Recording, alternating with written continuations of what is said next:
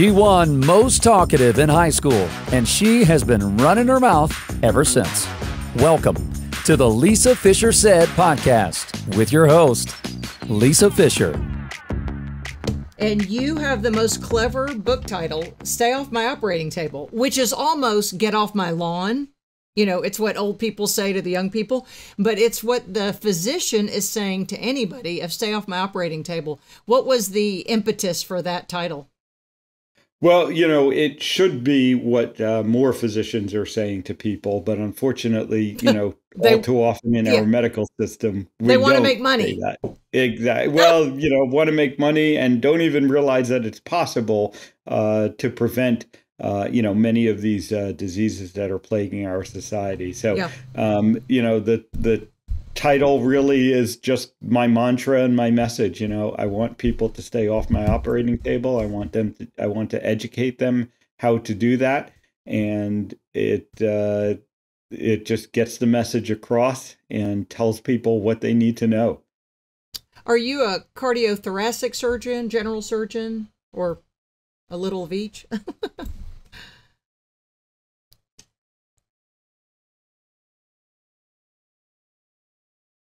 and Darren. Okay, I think I'm goes. back. Okay, Sorry, good. Let you there a little bit. Okay. Uh, can you? Uh, I didn't catch that last question. Yeah. Yeah, I don't know why this is freezing up. I was asking, are you a cardiothoracic surgeon, surgeon or a general surgeon? Yeah, so I am a uh, cardiothoracic surgeon. So I operate on the heart and the uh, lungs. Uh, heart surgery is the most common uh, operation that I perform and I have been practicing uh, cardiothoracic surgery now for uh, over 15 years, really 20 years when you count all the training that went into it. And I think during that time, I've learned a lot about um, what causes heart disease. Uh, but uh, I would say, you know, over the past five years, especially, I have, uh, through my own, you know, health challenges, um, realized that you know, much of what I learned in the early part of my career and during my training um, was incorrect. And I've now come to realize, you know, what truly is at the root cause of heart disease, uh, which is the most common cause of death here in the United States and worldwide. And we need to do a better job of changing that, of reversing heart disease, of preventing people from getting advanced heart disease. So, do you think the genesis of that conversation was Dwight Eisenhower in the 50s and 60s? He had a heart attack, he was in the White House. So, they told everybody the sky is falling. Quit eat. I don't know if that's when we started quit eating fat, but that's when our weight troubles really started, is when we quit eating fat. What do you think it is? Yeah, so you know when you go back and you look at the history of heart disease, um, you know heart disease was essentially undescribed, uh, you know, prior to about 1900. And, you know, there are reports from prominent physicians, for instance, in the late 1800s, who, you know, spent their entire careers and never saw a, ca- a case of heart disease. Wow. And, you know, heart disease started to increase in the 1900s. And, you know, there is some argument about we just learned how to diagnose it, but, uh, you know, that, and some of that is true, but it's really not the big part of the story. And through the early 1900s and really, you know, starting to accelerate in the 1940s and the 1950s, heart disease became an epidemic. And then, as you said, President Eisenhower, while he was in office, had a heart attack. This, of course, set off alarm bells, and everyone started saying, "What what do we need to do about heart disease?" And there were two prevailing theories at the time as to the primary causes of heart disease. Well, I should say there were three.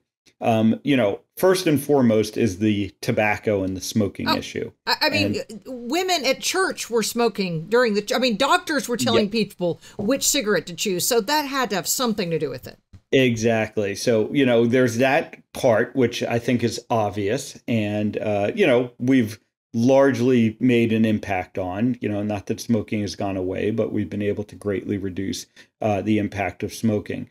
Um, and then, you know, people started talking about dietary issues, what we were eating. And there were two main theories about, you know, what we were eating that may be causing heart disease. One was sugar, and the other was fat, specifically saturated fat uh, in the diet. And, um, you know, throughout the 1950s, 60s, and uh, really into the 1970s, that was an unsettled uh, debate.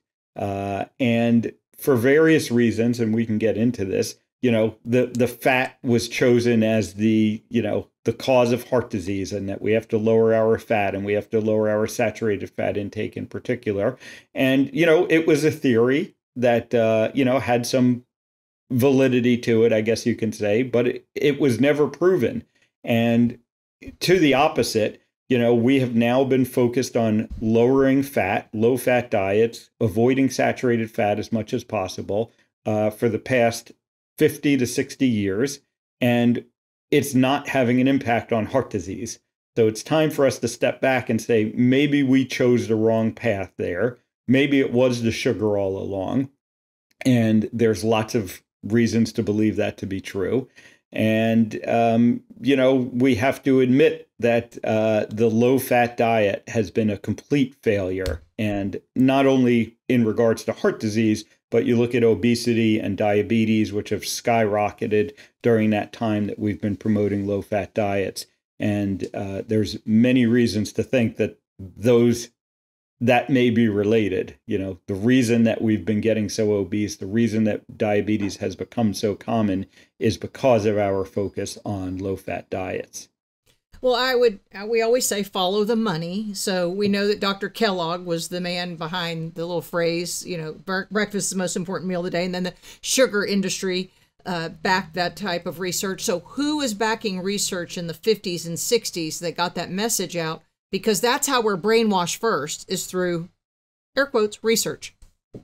Yeah, so you know the most uh, prominent uh, proponent of the uh, you know what's called the diet heart hypothesis. So this is the theory that the amount of fat and specifically the amount of saturated fat we eat in our diet uh, increases our blood cholesterol levels, and then that increased blood cholesterol level uh, is you know what leads to heart disease. And the primary scientist behind that was uh, Ancel Keys. Oh, and um, okay. you know we we now know that uh, much of what he built his platform upon was um, either very poorly done science or outright fraudulent fraudulent science.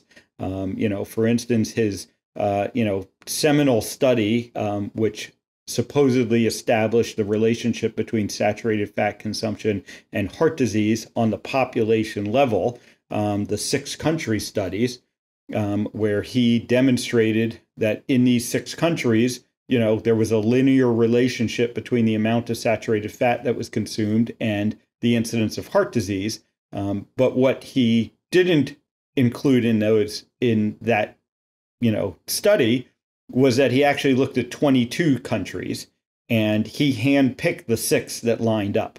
But you had countries like France, for instance, which at the time had the highest consumption of saturated fat and the lowest incidence of heart disease. Right. Um, but he just ignored that and uh, kind of cherry picked his data. And that is, you know, really what got the whole theory going.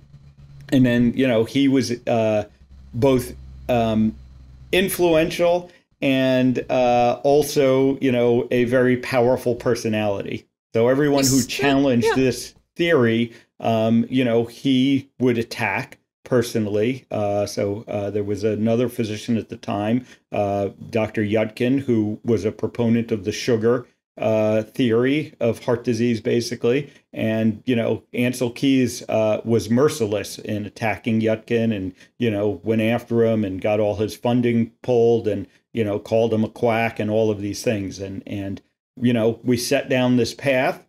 And again, you know, at the time, we didn't know which theory was correct. So we made a choice. Um, and you know, you can argue about that. There was certainly some nefarious things that went on in the industry and all that. But you know, we made a choice, and now here we are 50 years later, and that choice has clearly not worked out like we expected it to. So now it is time that you know we need to step back. This should have happened a long time ago, but we need to step back and say we need to take a different approach. I'll go ahead and say that Ancel Keys was the uh, Anthony Fauci of his day. Any way you want to look at that, because Anthony Fauci is powerful. He has messages that are very controversial, and we won't know the effects of what Anthony Fauci proposed until 10, 20, 30, 40, 50 years from now. Just you heard it here on Lisa Fischer Said podcast. You'll be in your rocking chair at the nursing home someday and go, you know what? That lady talked a lot, but she was right about one thing. And I'm just saying it now. So this is uh, the other thing about Ancel Keys. Those of us in the intermittent fasting community, we know him, of course, for the Minnesota starvation experiment that had uh, conscientious, conscientious objectors from World War II. And that was some crazy stuff. That was almost abusive what he did. I mean, it was abusive. It, it was, it, it, there were human rights violations to these people. But, and it also, to me, had some erroneous inform, uh, his studies, or maybe they were, there was some fact involved in it, but there also I felt like some of that may have been falsified. I don't know because I wasn't there, well, but yeah, we know, for instance, that you know uh, his studies that didn't end up showing what he expected them to show, he just wouldn't publish them. You know, so the uh, uh, yeah, you know, the Minnesota coronary experiment is the uh, famous example of that, um, where they took um, these were patients who were institutionalized um, you know, in uh, psychiatric facilities.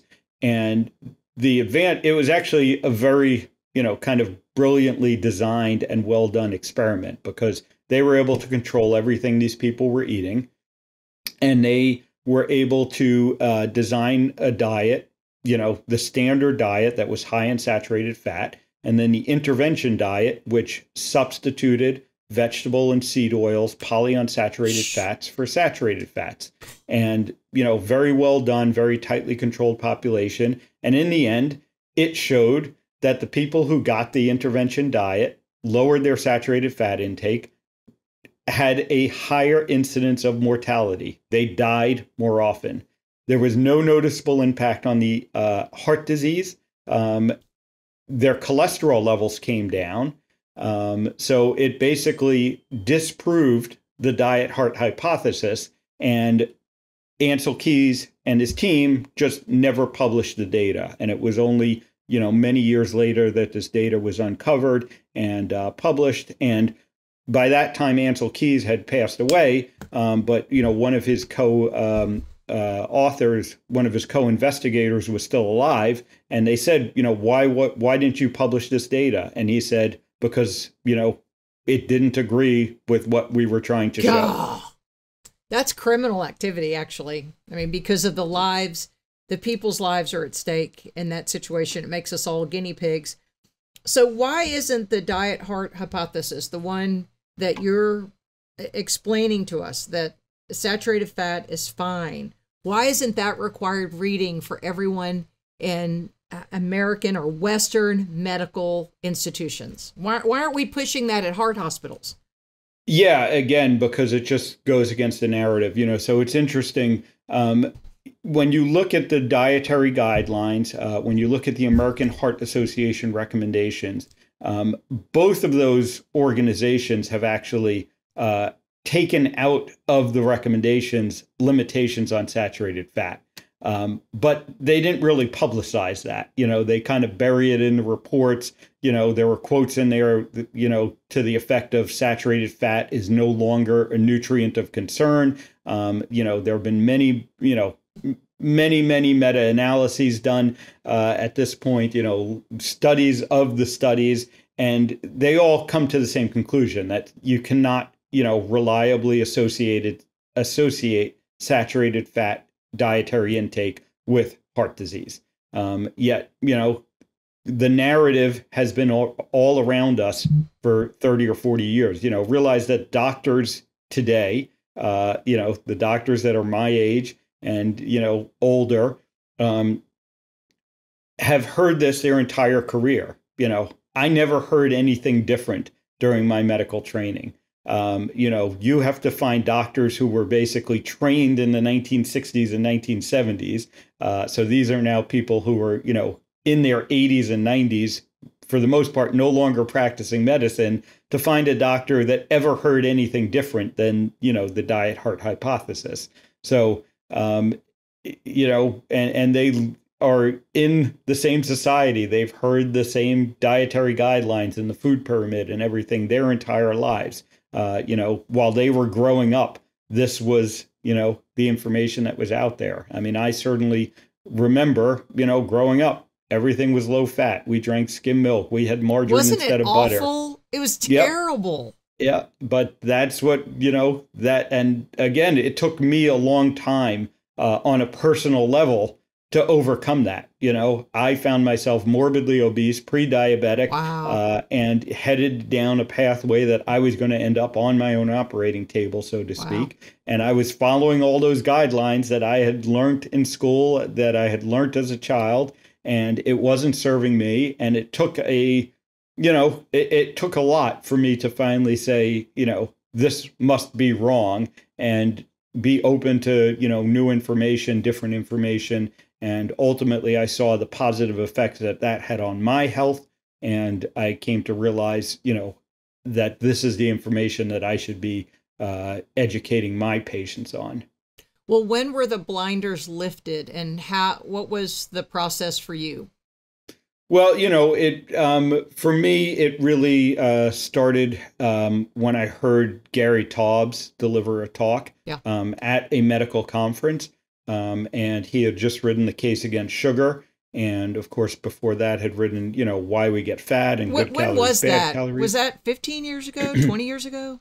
No, that was uh, about seven years ago now. Oh, so it's that only been that long. Oh, I thought Yeah. he's been around. He's a science writer. I mean, that Yeah, he's a science yeah, writer. prolific um, things. But I thought yeah. he'd been around longer. But maybe I just I've known his name for so long. Yeah, and he had actually written before, you know, those things, uh, before he got focused on nutrition. Um, his focus as a journalist was on bad science in general and you know it. how we how we get some of these things wrong. Because again, science is science. You know, we we that's why things are hypothesized, they are theorized, and then they get proven or disproven with the with the science. Um, you know, but uh, you know, so Gary's background, you know, goes into that, and then he turned, you know, towards nutrition in the diet industry, and uh, ultimately, you know, exposed a lot of what we've gotten wrong in that area. So I, you know, just by chance, um, heard him deliver a lecture, and as I said at the time, I was morbidly obese, I was pre-diabetic. And I had tried all of these things that we've all been told, you know, over and over again, counting my calories and eating the low fat diet and, you know, moving more, eating less, all of this stuff. And, you know, it didn't work for me, just like I was seeing it not work for my patients. Uh, and thankfully, I was exposed to this new information. I was open to, you know, hearing it and looking into it. And, and I tried it for my first, for myself first and it worked. And then I, you know, friends and family said, What are you doing? And I said, This is what I'm doing. And they tried it and, you know, they had great success. Um, and then it took, you know, quite a while for me to be uh, confident enough and brave enough Yeah. to start talking to patients about it because, again, it goes very much against the, the mainstream narrative. So what was the first thing you did? Was it eliminating sugar, grains, carbs? Yeah, so for me, it was, uh, you know, I went gluten free first, which, you know, kind of unintentionally uh, it lowered carb intake severely because they didn't have a lot of the substitute products uh, back then. Uh, and then uh, I eliminated sugar completely. And from there, it really became more of a, you know, progressively lower carb, but also focused on elimination of processed food in general and uh, really got to a point of just eating whole real food and then uh, for the past uh, you know four years now eating a primarily carnivore diet Uh, the carnivore diet has surprised me so much in my satiety levels because I have been intermittent fasting for five years, and I just started intermittent fasting just to reduce to reduce the amount of you know my insulin, you know, to become more insulin sensitive. But I still snacked during that time, and now as um, eating eighty or ninety percent, eighty five percent carnivore, let's say, I have so much satiety and that to me has been so surprising so there are no snacks i don't need snacks and a lot of intermittent fasters do one meal a day or two. You know, it just depends what your life is. So, did you notice a difference, a shift? Because I tried keto, and I don't know. Uh, and I, as a health coach, I have a lot of women who will say it just doesn't work well with me. So I didn't know if it was a hormonal thing with women, but I, even though my carb load now is pretty, I mean, really low, like really low. Not because I'm reducing carbs, I'm increasing meat. So, but some there's kind of a switch in there. Do you see a difference between the two eating plans or styles? Yeah, so I think there is, you know, uh, my personal experience, you know, I was exceedingly low carb keto. I mean, I was probably under 20 grams of carbs a day. Uh, wow. And then I heard about carnivore and I said, oh, let me, let me give this a try. Uh, at first I said, oh, well, that sounds kind of crazy. And then I said, well, let me give it a try. You know, this is a good three years into my kind of low carb experience. Um, the two things that I noticed about carnivore, first of all, was I still had some residual inflammation um, on the low carb keto, on the keto diet. Um, for me, it was plantar fasciitis, my right wow. foot, uh, for years. You know, I'd get out of bed in the morning and my right foot would hurt for, you know, 15, 20 minutes until I kind of hobbled around and stretched it out. And I could not get rid of that. I had done all the physical therapy. I had stopped running. I, you know, everything, changed right. shoes, all that stuff. Uh, my third day on carnivore, um, I got out of bed, I put my foot down, it didn't hurt, and it didn't come back again. Wow. And early on, you know, if I would kind of stray from carnivore and have, a, you know, still, you know, keto, but you know, uh, not not uh, carnivore, um, I would start to feel it in my foot. Uh, so that was the first thing for me. And then the second thing, the reason that I've really stuck with it um, is the simplicity and the satiety. Like you said, I mean, I, I typically eat once, you know, I'm typically a one meal a day, sometimes two, uh, but I'm just not hungry. And if for whatever reason, you know, there are times that I have to go, you know, longer, um, you know, I can, and it's not a problem. Uh, you know, so if I'm in the operating room for long periods of time, I'm not getting hungry. If uh, I'm traveling and there just isn't, you know, just isn't good food available, then I just don't eat. And, you know, that's not an issue. Uh, so uh, you know, it's the satiety is powerful, and then the simplicity. You know, it's uh, you don't have to count anything, you don't have to track anything. It's just you know, eat uh, animal products and move on with your life. It's steak and eggs. I mean, it's steak and yep. eggs. It's burger and eggs, steak and eggs all the time. A friend of yep. mine, I just before started the interview, I was, I, I said, I got to go. I've got to interview this important man. She goes, well, what do my kids eat on carnivore? And so I just said steak and eggs and beef and eggs. So, but that is a good question. It's easy for me to be, to look at my plate and know that a ribeye or a New York strip or sirloin, you know, is delicious and all the things and having local farm fresh eggs. But how do we get our kids to switch over to eating that way? Is it easy for them? Do they have satiety levels that increase too?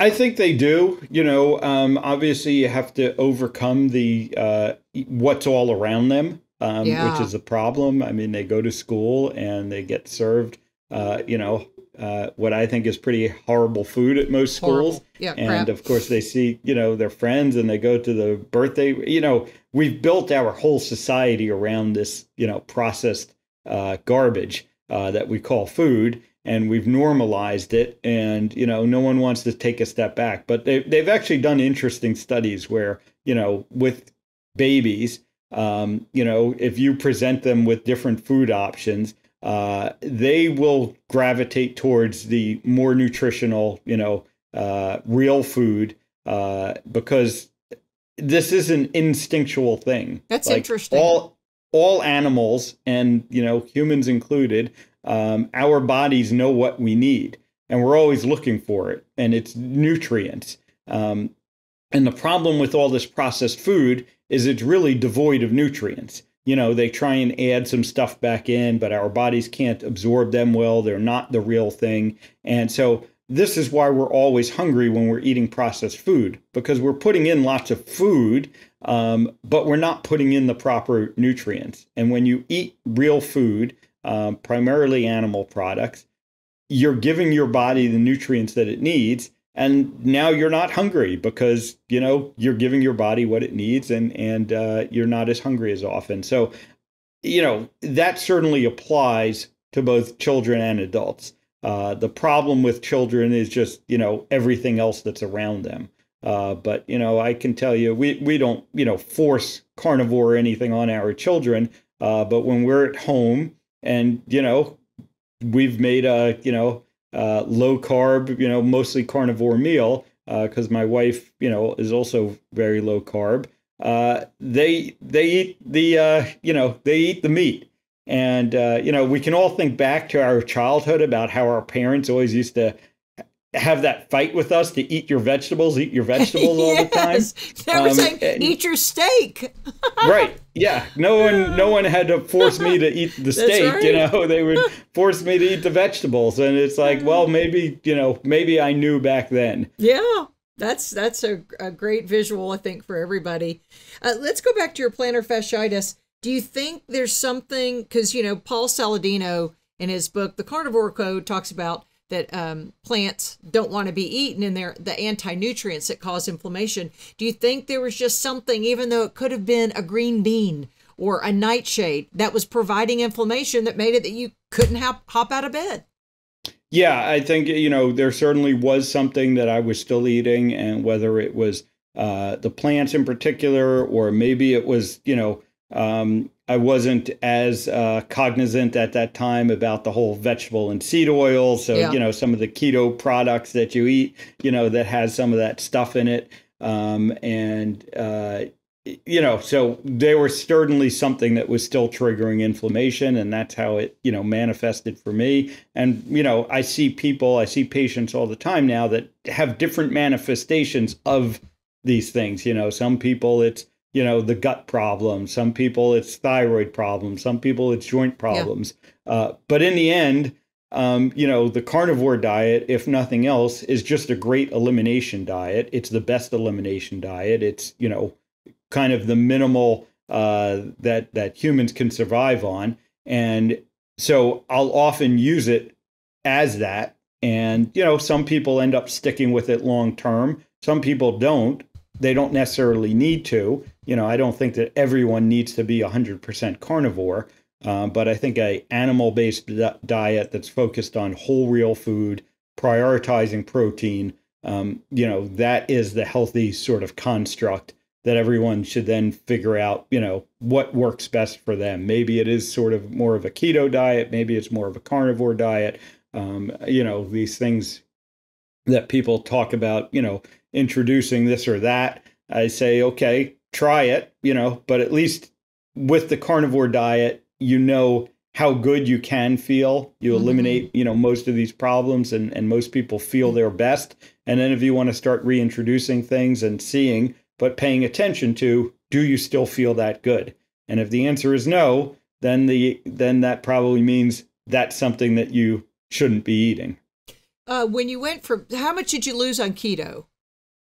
So you know, overall, I lost about hundred pounds. But was uh, that both diet, both keto and then carnivore? It, it, was actually primarily the keto part wow, of it. You know, honestly, impressive. since since I went carnivore, I haven't really lost any additional weight. I've had a good shift in body composition. Mm-hmm. I've added a lot more muscle, mm-hmm. um, and you know, lost some more fat during that journey. Uh, but my overall weight, you know, has been roughly the same uh, for the the three or four years that I've been carnivore now, um, and and that's you know that's important to note. I think that I haven't regained the weight oh, because I, yeah, in the past, you know, um, I would lose some weight when I would do some of these short term, you know, count my calories and and you know the eat less move more thing. And i would be able to lose weight in the short term but i would always gain it back usually more.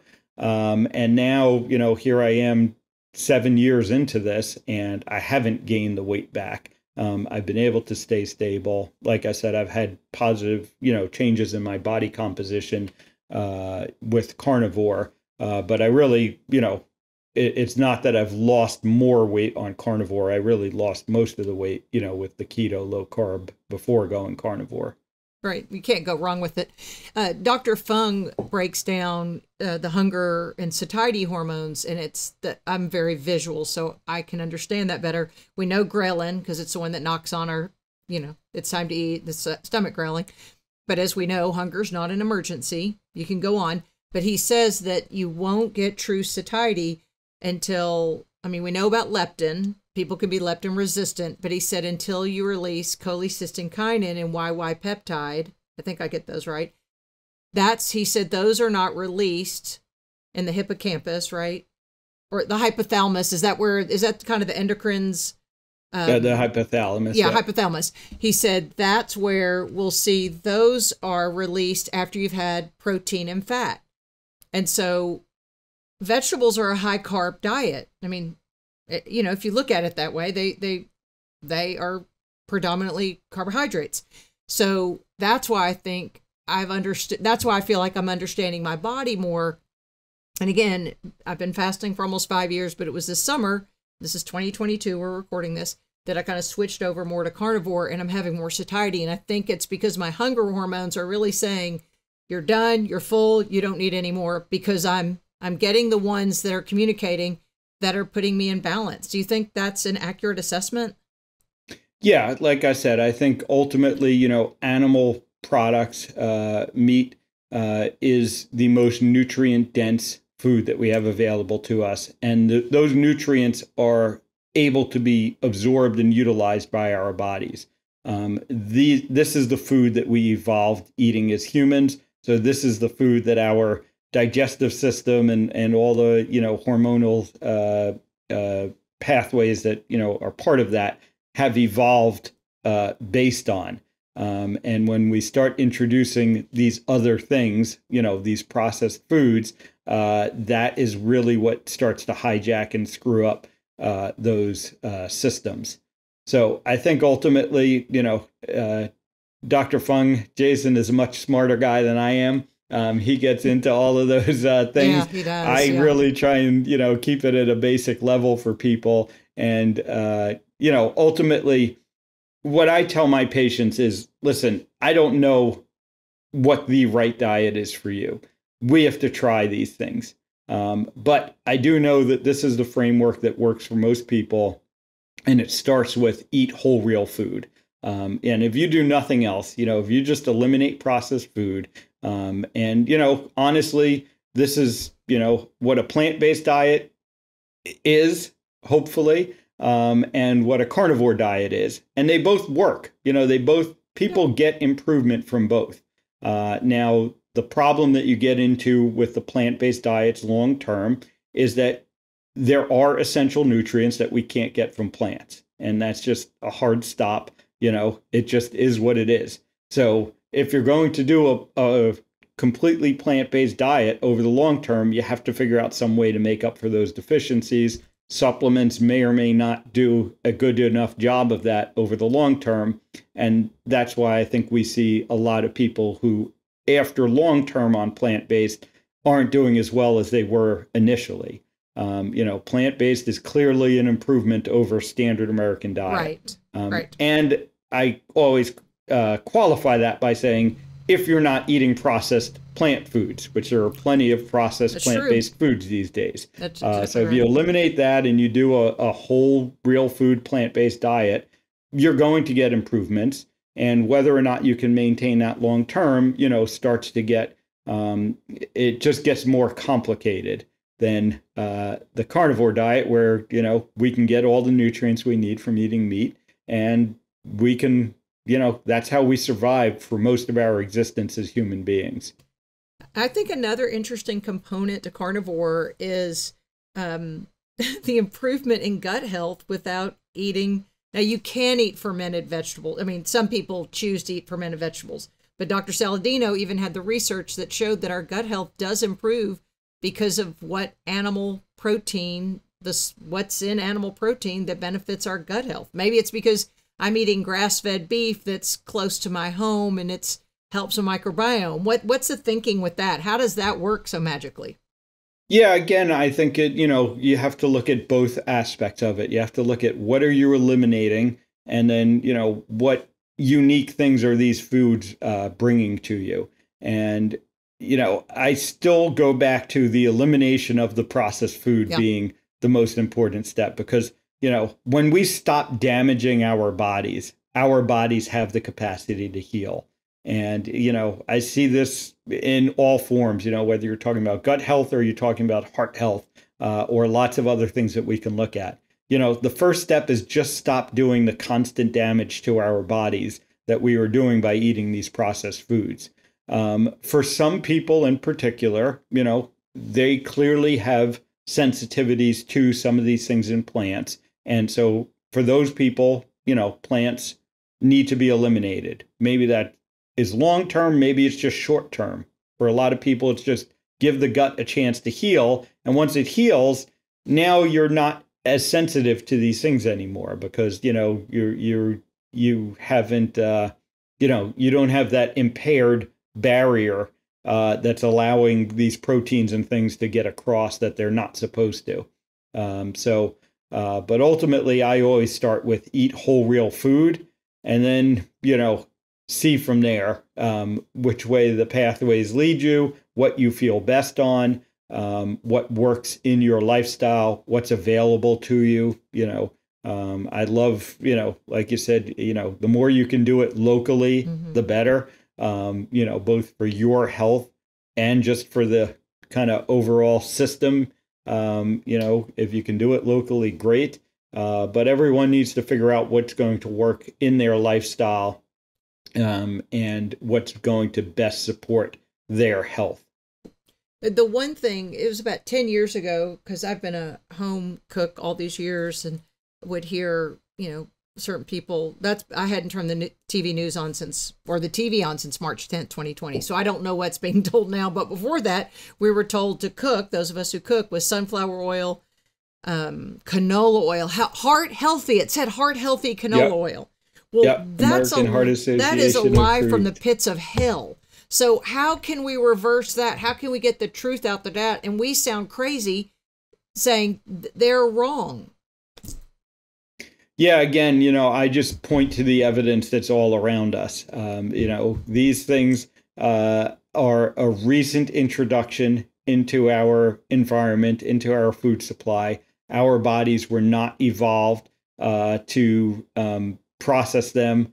Uh, and, you know, since we have had these and since we have been, you know, pushing them more and more uh, into our food supply, our health has only worsened. Yeah. Uh, so, you know, I just step back and say, look at the, you know, look at the evidence that's all around us. Um, are these things essential to life? Clearly not. Um, are they having any benefit? Clearly not. So why would you want to continue eating them? Um, you know, and uh, you know, it just comes down to again, each one of us as individuals needs to make these decisions. You know, we have the power within ourselves to start changing. You know, the government can't force, you know, isn't there force feeding us? Um, they can have their recommendations, yeah. but that doesn't mean you need to follow them.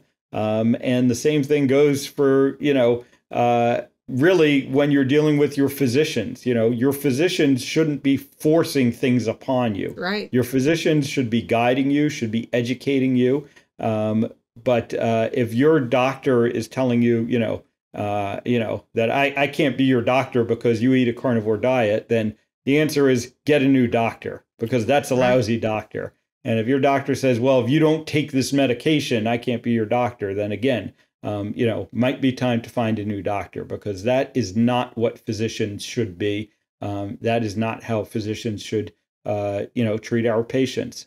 I mean, when I look at my, um, you know, the heart surgery part of my practice, um, there are oftentimes situations where it is clear that a patient will benefit from heart surgery. And, you know, 100 out of 100 doctors would agree on that. Um, but if the patient says, I don't want heart surgery, you know, I'm not there to force them to have heart surgery. I'm going to say, okay, let's figure out, you know, what's the best thing we can do, uh, you know, that you want. Uh, and for whatever reason, they may not want, you know, heart surgery in that situation. And my role as a physician is to work with them to figure out what the best option is. But now the surgeon isn't the one who would ever prescribe the statin, right? That would be the cardiologist. Well, so, you know, again, the guidelines are uh, after heart surgery, you know, that everyone should be on statin medications. Um, you know, I didn't don't, realize that. Oh, wow. Yeah. So, yeah, you know, anyone with heart disease. Now, again, these are the guidelines. We can argue about their merit and whether or not they're uh, correct. Um, I would say that. It, it, so, what I step back again and say is there is no medical treatment that is right for everyone. You know, it's just not how medicine works. Um, we don't have perfect treatments uh, on either side of the equation, whatever you want to look at. So, um, you know, I think all of these decisions should be individualized. Um, and the conversation should be had, you know, with the patients. Um, you know, when you look specifically at statins, um, the best benefit of them is in people with heart disease. Um, it's still not a huge benefit. And, you know, I, I still think that there are situations that people with established heart disease may not be well served by taking statins. Um, but that should be a very individualized yeah. discussion. And um, your physician should be able to have that discussion with you. You know, if you ask your physician, why are you prescribing this medication for me? And their only answer is, that's what the guidelines say. Mm-hmm. Again, maybe it's time to find a new physician because um, guidelines shouldn't uh, prevent doctors from thinking for themselves and shouldn't prevent individualized uh, decision making between physicians and patients. So, is the definition that anyone who's had a cardiac event is then prescribed statins or has heart disease? Do they have heart disease then? Um, yeah, certainly anyone okay. who's, you know, uh, had heart surgery. That's one of the uh, defining events of of having heart disease uh, of some form. Now, uh, there are nuances. You know, understand that you know there are certain types of heart surgery that don't have to do with cholesterol right. or statins or blockages in the arteries. That's kind of a whole different discussion. Uh, but in general, you know, when most people think of heart disease, they're commonly thinking of what we call atherosclerotic heart disease or coronary artery disease, blockages that build up in the arteries. And anyone who has had coronary artery bypass surgery, which is the most common operation we do uh, for people with that type of problem, um, the recommendation is that they should be on a statin after surgery. So, is um, all blockage, is it sometimes, can you have average cholesterol and still have a blockage, or can you have a, can you have high cholesterol and no blockage? Yes, both both okay. cases uh, are are quite common. So you know it is not unusual at all. Um, about half of the patients that I end up doing surgery on have a cholesterol level that is, you know, within what's considered normal. Uh, okay. Many of those patients, because they're taking medications to lower their cholesterol, some of the patients just naturally have lower cholesterol levels and they still end up with heart disease. And on the flip side of things, um, there are many people walking around with high cholesterol levels that have absolutely no evidence of heart disease. Yes. uh, so, um, you know, both of those facts tell me that cholesterol isn't the complete picture. And that's ultimately, you know, again, what I talk to my patients about that this decision should not be based on one number our bodies are much more complex than that. We cannot reduce these decisions down to one number and just say categorically, if this number is above X, you need to do this. Um, and so that's where the, um, you know, uh, individualized decision making should come into play. Well, I would like to know your um, lipid panel profile going from an obese doctor who probably I mean, you was looking at maybe had lower saturated fat to the person who's lost 100 pounds, who is metabolically fit, who doesn't have any, you know, risk of metabolic disease, I would assume, you know, you're not in the 88% of the people that we talk about. And then maybe yeah. your cholesterol has ooched up. Has it done that for you? Yeah, so it has. So you know, my um, at, at sort of the beginning of my uh, journey, you know, my uh, LDL cholesterol, my so-called bad cholesterol, was you know, a little bit elevated. It was 130s. Um, my uh, triglycerides were very elevated. Okay. Uh, you know, uh, 200 range, and my HDL cholesterol, you know, was on the lowish side, like in the 30s. Not horrible, but lowish. Um, when I lost a lot of weight, uh, my LDL cholesterol went up significantly. I think the highest one I had was about 350 um, for my LDL cholesterol. Uh, all of my cardiologist buddies, they were having heart attacks looking at my uh, panel. Um, but my triglyceride level came down and my HDL level went up. And um, after some time, those numbers settled down some. So my LDL cholesterol now, you know, depending on when I check it, runs somewhere typically around 200, you know, to 250. Still pretty elevated. Um, my triglycerides run between 50 and 70, and my HDL tends to hang around 50. Um, I have now had two coronary artery calcium scans, three years apart, both zero. Okay. Um, I'm I just turned uh, 48, uh, so I had my first scan. I was about 44. Good. My second scan, you know, a few months ago, I was 47. And despite my cholesterol being high, my LDL cholesterol being high that time, um, my uh, CAC score has remained zero. So- now, I think more important numbers to be paying attention to are, you know, the fact that my insulin level uh, came down from, you know, 20 something to, you know, it's typically around four or five. Your depending on when fasting insulin was 20 My- something at one time? Uh, the highest, Wow. yeah, uh, that I checked it at was uh, around uh, 20. Wow. My uh, hemoglobin A1C came down from, you know, 5.7 to, uh, you know, 5.4 or so, uh, 5.3. Um, you know, so these are more important numbers that I look at. I, I do, you know, the advanced lipid panels, uh, Yeah. both for myself I and my bet you do. patients.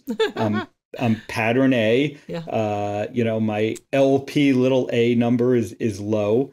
Um, but my ApoB number, which everyone, you know, harps on is high, you know, along with my LDL, you know, C, they kind of oftentimes track together. Um, but, you know, ultimately I look at my CAC score and it's zero. And so, um, you know, I uh, don't see any reason to lower, to make intentional efforts to lower my LDL cholesterol, whether that be diet based interventions or medication based interventions. And again, that doesn't mean that that holds true for everyone. Um, these are individualized discussions. You know, there Yeah. are some people that, you know, need to be addressing their elevated LDL cholesterol.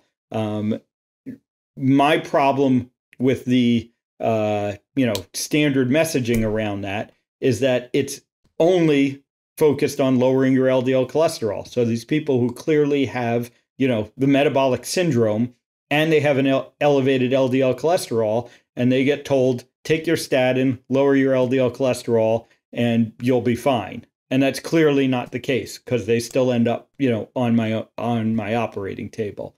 Uh, so we need to do a better job of looking at the whole picture and looking at the true root causes of heart disease. And again, we know that insulin resistance is a much bigger risk factor for heart disease than an elevated LDL cholesterol. It's consistently shown in every study.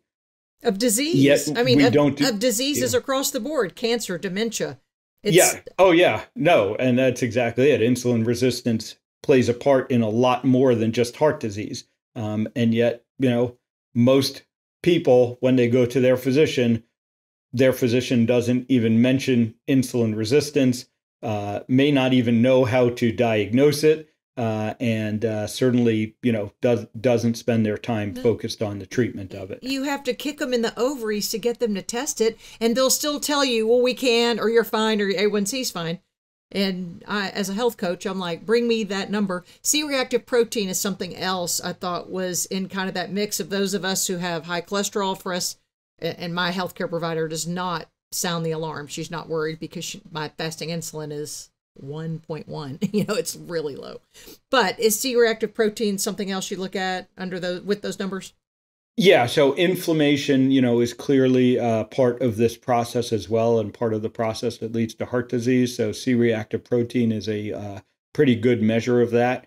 and I think it is an important uh, metric to be tracking. Yeah that I wish more people looked at. Now let's talk about what you're offering because I love your social media. People need to follow you on all the different platforms and we'll put all that We'll put your book in the show notes, everything about you. But it looks like you're about to push out a new course. Tell me about that.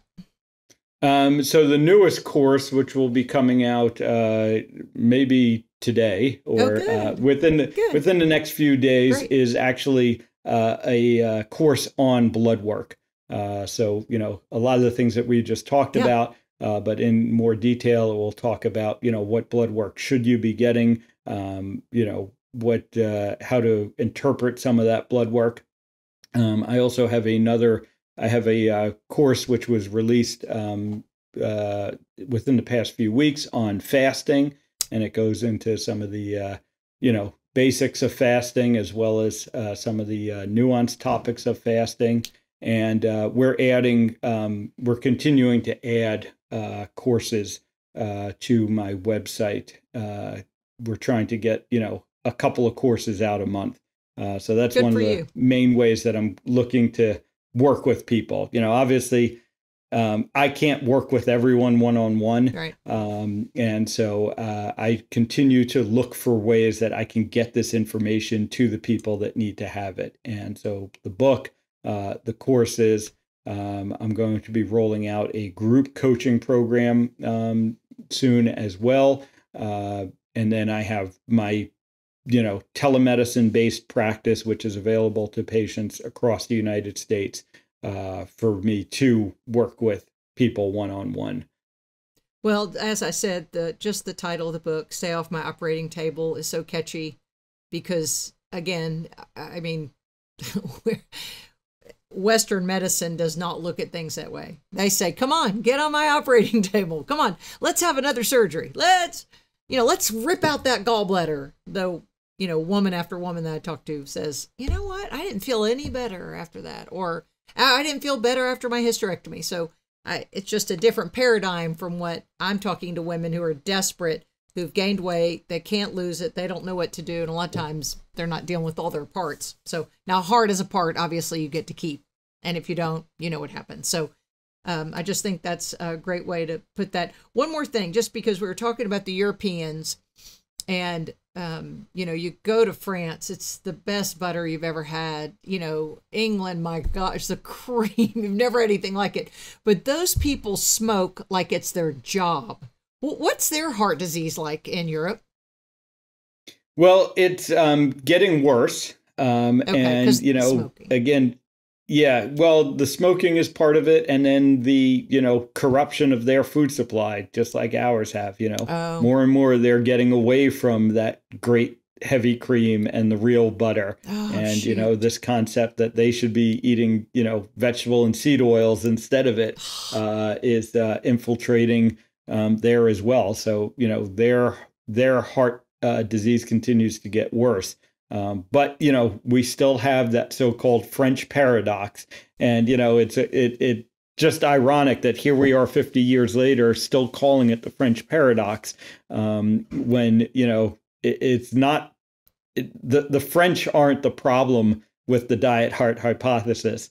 The diet heart hypothesis is the problem, and and the French, as well as many other examples, you know, really disprove that hypothesis, but the the promoters of the hypothesis don't want to admit that, so they label it as an anomaly and a paradox. But it's clear that it was never the saturated fat that was causing the problem. Yes. Um, and um, you know, eating the real butter like they do, uh, and you know, it's interesting because um, their carbohydrate intake ends up being you know a little bit higher yeah. uh, than you know a lot of the low carb community thinks is healthy, and yet we don't see the same problems occurring. Um, you know, probably because the types of carbohydrates that they are consuming, um, they're not, you know, at least traditionally weren't heavily processed. Um, you know, uh, the uh-huh. grains were more traditional, yeah. and so you know you can tolerate them better. Um, but uh, as you as you process the food more, as it gets more and more refined, and the nutrients get stripped out of it, you know, that's when we start to see the problems. So, uh, Dr. Ovadia, let's wrap this up. What's on the menu for you tonight for your one meal? Or if you've already had one, like what do you plan for dinner? Steak and butter? Um, yeah, it's going to be uh, probably either steak or ground beef of some sort. Um, you know, again, I don't plan it much in advance. I usually go to the fridge or, or the freezer and Yeah. grab something out of there and throw it in a pan, and a few minutes later I'm eating. So that's the simplicity of the uh, carnivore life. That's exactly right. Well, good luck to you. Yeah, great job with the message, and let's just keep educating people that you've been lied to. I'm sorry to yell, but yeah, it's my podcast, so I can yell. So. Thanks for listening to the Lisa Fischer Said podcast. Be sure to hit subscribe and download all the episodes and leave a review, won't you? The Lisa Fischer Said podcast is produced by ClantonCreative.com.